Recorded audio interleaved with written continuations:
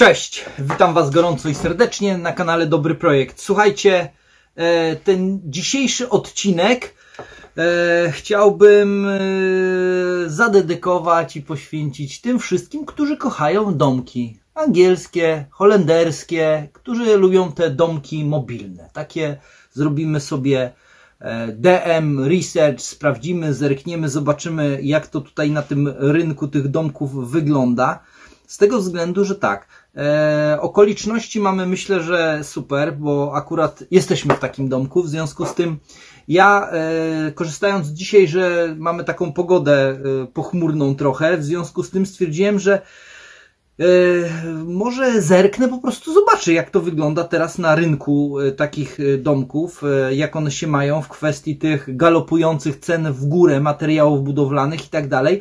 Zastanawiałem się, czy to też ma przełożenie w kwestii tych, tych domków, powiedzmy, które są dostępne na rynku, które gdzieś tam są na ogłoszeniach i można je znaleźć, poszukać, zerknąć, zobaczyć.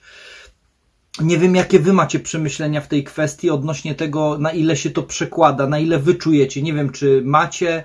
E, wiem, że też część z naszych widzów e, ma domki, ma domki holenderskie i czy przebywa, czy czasowo, czy też niektórzy widziałem, że też na stałe mieszkają. Podzielcie się z nami swoimi doświadczeniami, ponieważ to jest tak, że każdy z nas w jakiś tam sposób ma trochę inne doświadczenie, tak? Z czymś innym się spotkał, w inny sposób je powiedzmy, czy tam ocieplił, czy docieplił, czy skorzystał z nich w wersji oryginalnej. Natomiast ja bym chciał w tym odcinku e, tak trochę luźno po prostu podejść do tematu i zerknąć, zobaczyć w ogóle co się dzieje. Wiecie co, słuchajcie, znalazłem sobie jakieś trzy oferty e, gdzieś tam na jednym z takich portali aukcyjnych, żeby zobaczyć, em, zobaczyć jak, jak, jak to się ma. To jest aukcyjny? Nie, no to jest sprzedażowy taki portal. W każdym bądź razie e, i ja linki do tych, do tych filmów umieszczę, ale wiecie co, słuchajcie, pokuszę się o to, żeby sobie razem z wami może zerknąć w te, w te oferty i, i razem z wami przedyskutować. W ogóle co, co wy myślicie o takiej kwestii, jak gdyby zapewnienia sobie w cudzysłowie, ale no nawet nie w cudzysłowie, ale dachu nad głową, bo przecież to jest tak. Jed, z jednej strony to jest bardzo fajna oferta, taka, to znaczy jak gdyby propozycja e, letnia komuś gdzieś tam na działkę i tak dalej, to się świetnie przecież nadaje. Kolejna rzecz jest taka, jeśli ktoś ma ochotę się budować, to, to też jest również fantastyczne rozwiązanie, ponieważ może sobie taki domek na czas budowy, powiedzmy, postawić, może w międzyczasie się budować, a jednocześnie gdzieś tam może być blisko, powiedzmy, tej budowy. Czy jeżeli robi to sam własnymi siłami, to łącznie z tym na ten okres, powiedzmy, nawet przejściowy, może z jednej strony sprzedać czy mieszkanie, czy sprzedać, powiedzmy, dom, w którym mieszka obecnie, załóżmy, a który nie spełnia jego oczekiwań, chciałby go zmienić, to na czas budowy może sobie powiedzmy, że kupić taki domek, a jednocześnie też później może ten domek po prostu sprzedać. W związku z tym to jest bardzo fajne moim zdaniem rozwiązanie i to jest taka alternatywa na to, żeby powiedzmy ten okres tam, nie wiem, roku, pół roku, czy tam może, nie wiem, dwóch lat na czas budowy, powiedzmy, żeby sobie zagospodarować. I wiecie co? Ci, którzy z Was e, mają domki, to fajnie by było, żebyście się wypowiedzieli, ponieważ ci, którzy nie mają, to chętnie najprawdopodobniej te Wasze tutaj wypowiedzi e, przeczytają, e, bo no dzięki temu może się okazać, że ten materiał będzie o tyle wartościowy, że ktoś z tego po prostu skorzysta, tak? Ja nie sugerowałem się tutaj no, niczym jakimś takim nadzwyczajnym. Po prostu chciałem jedynie zerknąć i zobaczyć, co tutaj jest. Mam swojego takiego faworyta, który uważam, że jest całkiem fajną ofertą. Dlatego jeśli ktoś z Was być może szuka nawet e, dla siebie takiego domku, powiedzmy, to może się okazać, że gdzieś tutaj skorzysta z tego omówienia, e, a jednocześnie być może też skorzysta nawet z Waszych wypowiedzi, bo jeżeli mówię, jeżeli ktoś z Was ma, to niech napisze, co ma, jak i tak dalej, czy jest zadowolony, albo na co by zwrócił uwagę. Jeśli ktoś z Was ma przykładowo domek nie całoroczny, ale ten taki e, wiosna, lato nazwijmy to, to czy przykładowo adaptował go na czterosezonowy, tak? I co zrobił, żeby to zrobić, a jednocześnie czy to się sprawdziło, czy to jest ok i czy gdyby drugi raz miał robić taką, e, powiedzmy, czy drugi raz gdyby miał kupować domek, to kupiłby powiedzmy całoroczny, czy kupiłby ten opcja e, taka e, wiosna, lato, nazwijmy to jesień, tak? Czy kupiłby całoroczny, bo też myślę, że nie jedna osoba z Was się właśnie nad tym zastanawia. Słuchajcie, to co ja po pierwsze zacznę od takiego, znalazłem jeden taki z domków, E, już Wam pokazuję zdjęcia. Ja uważam, że on ma coś w sobie. Na pewno tutaj już lecimy po kolei. Zdjęcia niestety nie będą takie zbyt fantastyczne, czyli gdzieś widać, że ta oferta jest przez osobę prywatną wystawiona. Natomiast powiem Wam, na co zwróciłem uwagę. W przypadku tego pierwszego domku to jest takie trochę opcja, wiecie, brzydkie kaczątko. No, jest taki trochę tutaj, wiecie, tak nie do końca są fajnie te może zdjęcia zrobione, tak może nie do końca on się Wam w środku będzie podobał, ale z drugiej strony tego typu domki, one są mm, z reguły są bardzo drogie. W związku z tym e, tutaj akurat mówimy o cenie 54 999. Z tego co wyczytałem, to chyba tutaj nie ma transportu. To jest 9 e, metrów długi na 3,90 ten domek. I e, ja linki wrzucę. Wrzucę pod tym filmem, bo być może ktoś z Was by chciał sobie to też tam pooglądać i tak dalej. I teraz tak, ten domek, mm, on się charakteryzuje tym, że widzę, że to jest coś w rodzaju takiego ala sidingu na zewnątrz. Ma drzwi dwuskrzydłowe, czyli to są drzwi takie tarasowe, wejście najprawdopodobniej to jest do, do tego głównego salonu, z tego co kojarzę. E, ten model, te drzwi i taka charakterystyka tego domku świadczy o tym, że to jest domek taki dosyć dosyć nowoczesny. E, natomiast co tam w środku jest w nim, jak gdyby, co, co, co ja widzę? To znaczy tak, ogrzewanie elektryczne, o właśnie. Pytanie jest takie, ja osobiście nie jestem użytkownikiem ogrzewania elektrycznego, ale też napiszcie, jeżeli macie ogrzewanie elektryczne, napiszcie w ogóle, jak to działa, jak to funkcjonuje. Ja jestem, sam osobiście nawet jestem bardzo ciekawy, jak to wychodzi w kwestii nawet takich kosztów ogrzewania, tak? To jest całoroczny, czyli te, te, te szyby tutaj widać, że są najprawdopodobniej, to jest dwuszybowe. E, kolejna rzecz jest taka łazienka, prysznic, duże drzwi, czyli takie widać, że to jest troszkę bardziej nowoczesne. Nie jestem pewien na 100% czy to jest oryginalne, wydaje mi się, że chyba tak. E, ale tutaj nie, jak gdyby nie, nie do końca jestem pewien. Mm, kolejna rzecz jest taka, widzę, że w kuchni jest zakładany zlew, najprawdopodobniej on chyba nie jest oryginalny, ale tutaj piszą, że to jest też wersja taka coś, nie wiem, ala francuska jakaś, tak przynajmniej z opisu. Natomiast w środku widzę, że drzwi, które są tutaj, mm, to są już drzwi takie, które są stosowane w tych troszkę takich droższych domkach. W związku z tym e, ta cena w stosunku co do tutaj tych jak gdyby poszczególnych podzespołów elementów wskazuje na to, że, że to jest domek z tej trochę wyższej klasy. Nie do końca jestem przekonany odnośnie tego, czy on był w środku remontowany, czy nie. Co prawda widzę, że ma tutaj płaski dach w środku, czyli najprawdopodobniej być może jest trochę grubsze ocieplenie, chociaż nie jestem, nie, przepraszam, nie jest płaski, jest skośny, także tak jak widać po, po, po elewacji tutaj zewnętrznej, są te zdjęcia są takie minimalistyczne bardzo, Natomiast e, te skośne dachy pod taką blachodachówką to już są te takie powiedzmy, że no te takie no najbardziej powiedzmy, nie wiem, nowoczesne, czy w tym trendzie, w tej modzie taka, która jest już dosyć tam mocniej jak gdyby zaawansowana nawet cenowo. E, natomiast e, on ma bardzo dużo zdjęć takich, które nie są, nie są jak gdyby atrakcyjne te zdjęcia, czyli on nie został tak w taki sposób tutaj wyeksponowany atrakcyjnie. W kuchni jest płaski dach, natomiast widzę, że w salonie ten dach jest taki skośny. E, I nie zostały one dobrze, jakby to on nie został dobrze wyeksponowany. Dlatego uważam, że gdyby się pokusić o to, żeby sobie sprawdzić, jak gdyby, jak on tak, wiecie, na żywo wygląda, można by się było tutaj nawet całkiem fajnie, jak gdyby zaskoczyć tutaj pod względem takim, co on tam może nam dać, tak? No z tego co widzę, to jest kominek, najprawdopodobniej jest to kominek gazowy, e, natomiast grzejniki widzę, że są elektryczne. Słuchajcie, to jest jak gdyby jedna opcja. To zaczęliśmy od takiego, wiecie, taki, no taki na, na dwoje tutaj, na dwoje babka wróżyła w przypadku tej opcji. Natomiast, słuchajcie, znalazłem drugi, kolejny domek, który jest domkiem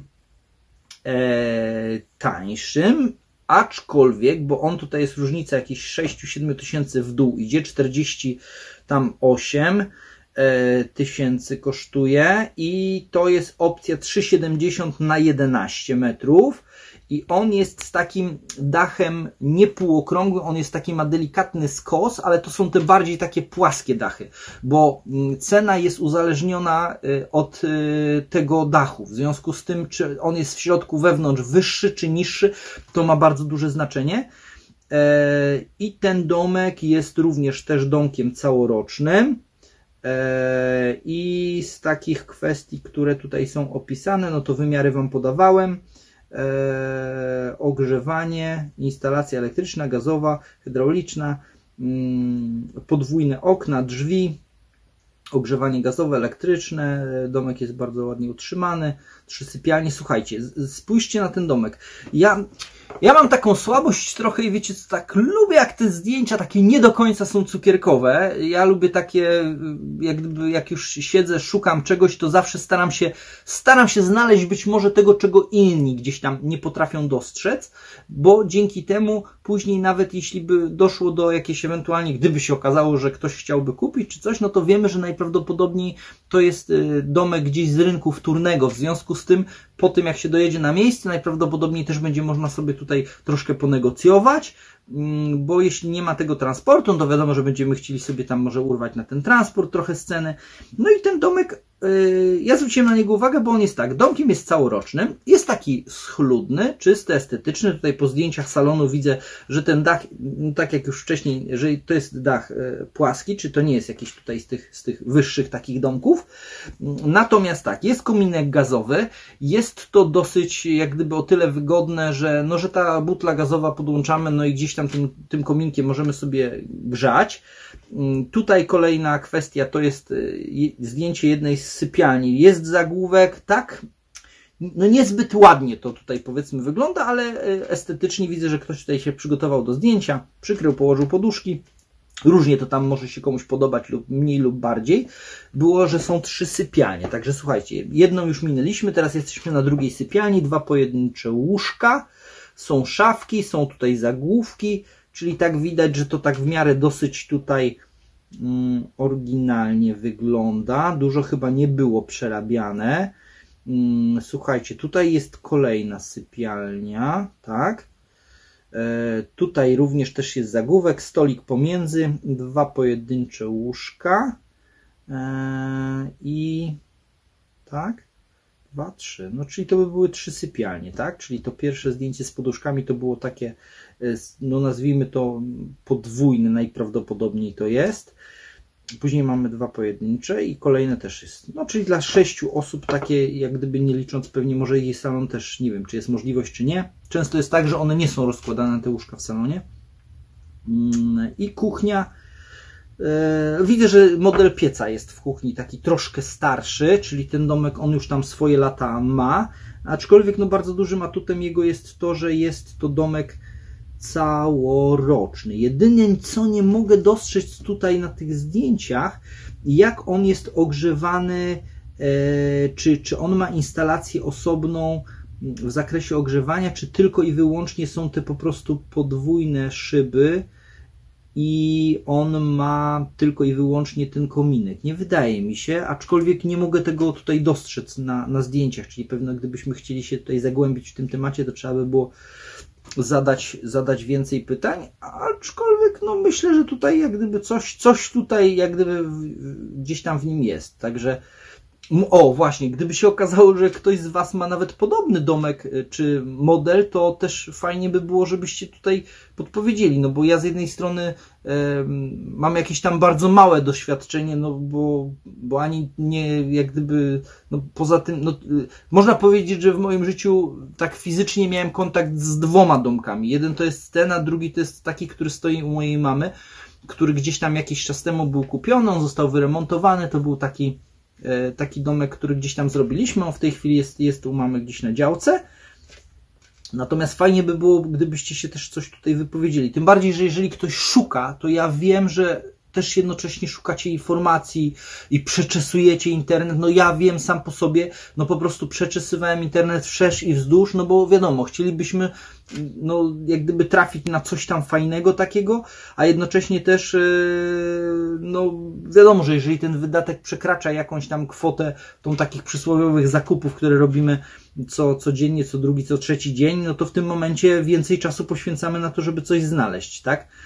I teraz tak. I teraz przejdę do domku na samym końcu, który e, wydaje mi się, że jest bardzo opcją taką interesującą i fajną. Jeżeli ktoś z Was wytrwał z nami do samego końca tego odcinka, to bardzo bym chciał, żebyście Wy się wypowiedzieli na ten temat, bo tak, domek ma 12 metrów długości, ma 3,7 szerokości i to jest domek, który jest z taki, no naprawdę powiem Wam, że no klasa, klasa, bo tutaj z zewnątrz e, to bardzo ładnie wygląda. To jest taki, no gabarytowo to już można powiedzieć, że to już jest taki, taki chyba no max z tych takich e, domków e, takich modelowych typu ten holenderski, angielski, tak?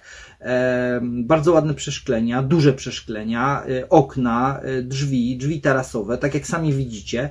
E, w ogóle w opisie wyczytałem, że tutaj ktoś korzystał z tego domku, bodajże mm, domek całoroczny, wersja zimowa,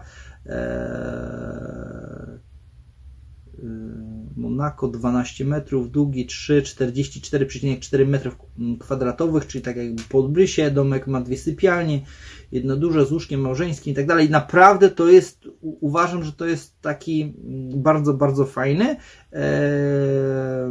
Klimatyzacja kupione w kwietniu 19 roku, e, używany e, w stanie super użytkowany mm, przez trzyosobową rodzinę na czas zamieszka e, zamieszkania do zakończenia budowy domu rodzinnego. Domek oczywiście posiada koła manewrowe, do miejscowego przemieszczania się. Czyli ktoś, tak jakby tutaj czytam z tego, że, że w trakcie budowy jak gdyby e, kupił sobie, no i w momencie, kiedy pewnie skończył tą budowę, no to teraz go chce sprzedać.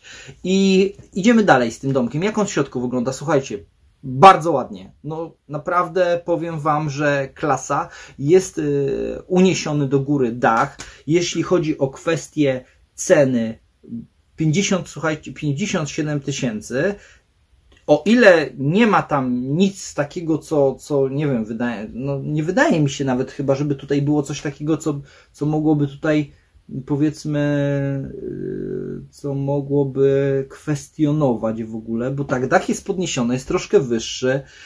Widzę też, że bardzo charakterystyczne jest to, że on ma głośniki w suficie, w związku z tym, yy, w związku z tym, no to wiadomo, że to już tam gdzieś tam pewnie w tej troszkę takiej lepszej wersji było to montowane. Mm, wnętrze bardzo ładne, estetyczne, a jednocześnie taka, y, ten salon widać, że jest tak troszeczkę już bardziej taki nowoczesny. Mm, ten sufit jest wyższy. Kuchnia jest bardzo ładnie utrzymana, tutaj taka no, elegancka i no, jest to drewno, to wiadomo, że to jest taki model, że to no, każdy z Was musi gdzieś tam w jakiś sposób sam stwierdzić, czy coś takiego mu odpowiada, ale z tego co widzę, to jest i piekarnik, i taki opiekacz,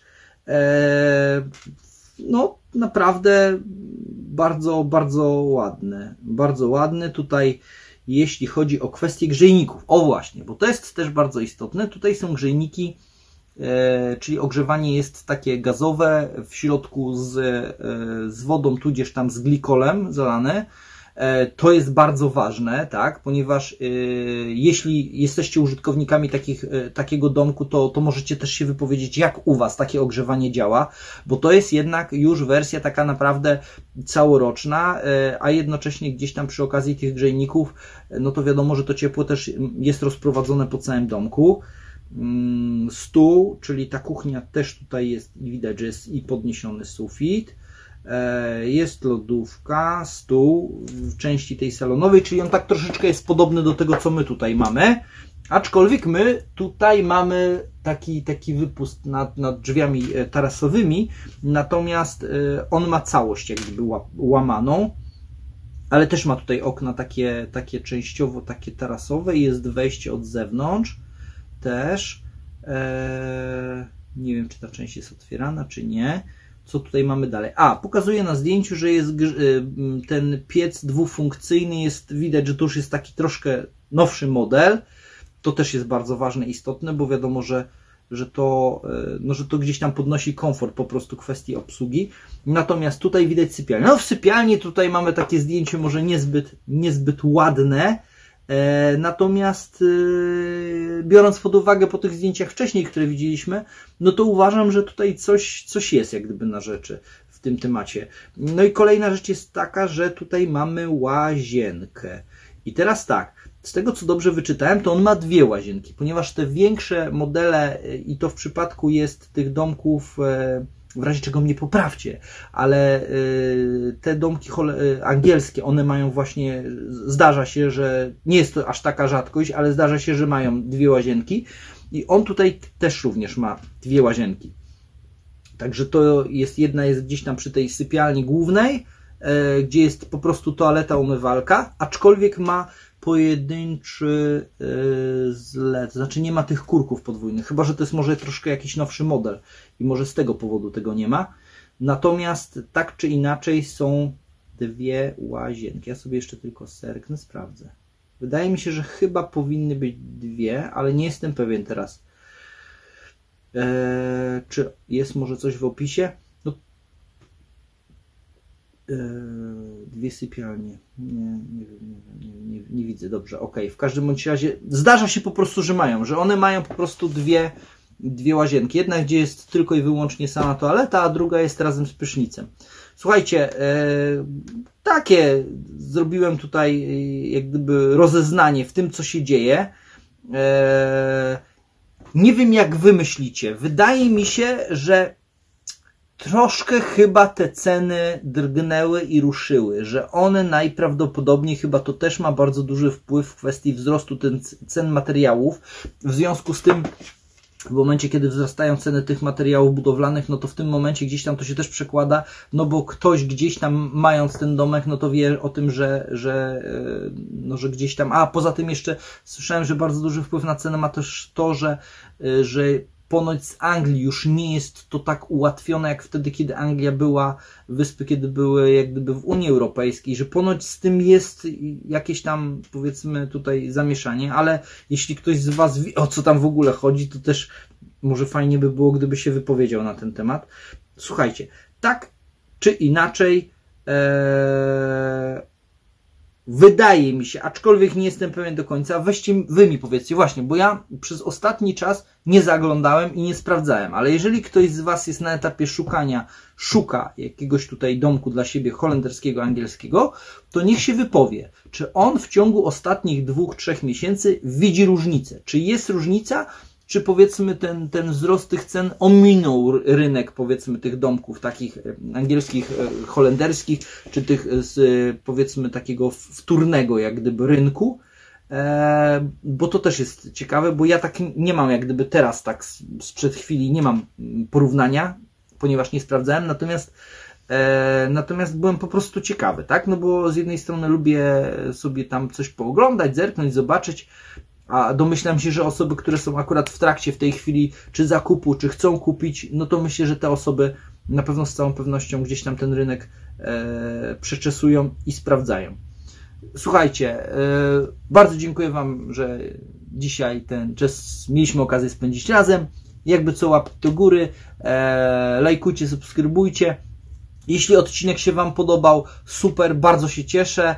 E, być może tutaj komuś e, coś tutaj podsunąłem, e, być może znacie już te oferty. Tak czy inaczej, myślę, że warto by się było też podzielić z innymi widzami, jeżeli tylko i wyłącznie gdzieś macie swoje domki, to napiszcie dwa, trzy słowa może y, na temat tego, co tutaj widzieliście, e, a bardzo fajnie by było też, gdybyście napisali e, coś na temat swoich domków, bo to jest też taka informacja, która być może tym, którzy szukają, mogłaby pomóc, tak? Nawet kwestia sugestii związanej z tym, czy mają wybierać domki te e, takie letniskowe, typowe, czy jednak pomimo wszystko całoroczne, jakie macie tutaj doświadczenia, Także, także fajnie by było, gdybyście napisali. Słuchajcie, z mojej strony to by było tyle. Jeśli odcinek się Wam podobał, super, fajnie. O, możecie też napisać, czy, czy macie ochotę, żeby przy jakichś innych może okazjach też coś takiego zrobić, żeby raz na jakiś czas wejść, przejrzeć, sprawdzić jaka jest oferta na rynku, co jest ciekawego.